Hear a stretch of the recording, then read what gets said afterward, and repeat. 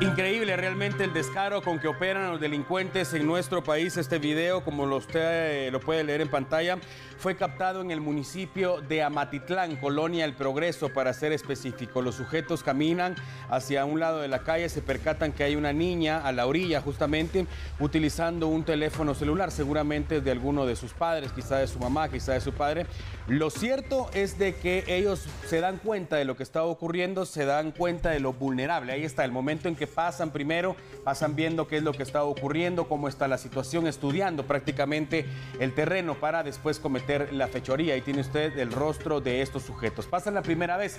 Del lado izquierdo de su pantalla hay una mujer que pareciera ser familiar de la niña. La niña ahora está del lado izquierdo de su pantalla y va a observar usted el momento en que los dos jóvenes ya después de haber pasado observando cómo estaba la situación, van a regresar y le arrebatan el celular a la niña. Es lamentable realmente que operen de esta manera. Estamos hablando de una niña, afortunadamente no la lastimaron, afortunadamente no estamos hablando de un asalto a mano armada, utilizando un arma blanca o algo por el estilo, pero evidentemente esto viene a impactar de manera psicológica, emocional a la niña. Ahí está el momento, va a ver usted cómo van, se acerca a este hombre, le quita el teléfono a la niña, la otra mujer que está ahí parece intenta defenderlos, pero se trata de jóvenes que evidentemente tienen mayor capacidad física para correr, escabullirse del lugar por la edad que tienen estos jovencitos. Así que el video está siendo viralizado ya, sobre todo en esa comunidad del municipio de Amatitlán, con la intención de que la Policía Nacional Civil tenga acceso a él también y por supuesto se proceda a la captura de los asaltantes. Descarados realmente y cobardes para arrebatarle